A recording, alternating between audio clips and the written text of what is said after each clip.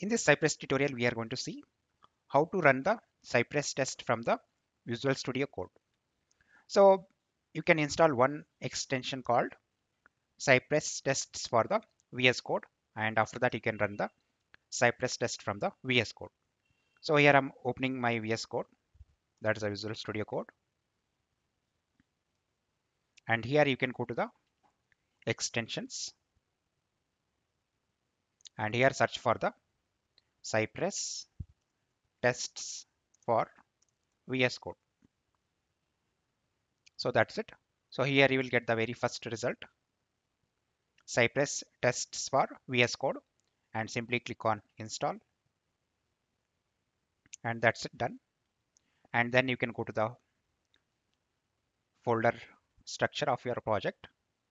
And here simply close this extension. Now, so simply here I will press the Control Shift P and simply type the Cypress. So recently I have executed my Cypress test in the UI mode. So that's the reason it is showing recently used. So after typing the Cypress here, you can run your Cypress test in the UI mode and also you can run your test in the headless mode.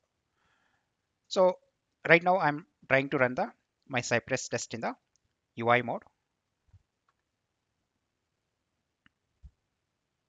So it basically brings up the test runner and where you can select all the configurations.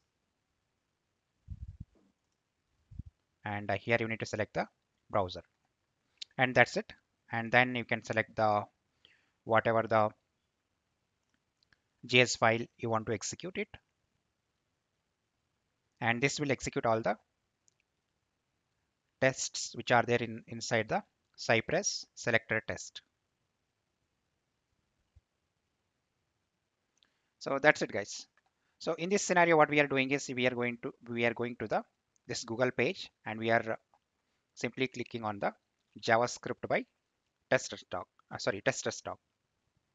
So this is how you can execute the Cypress test from the VS Code or the Visual Studio Code.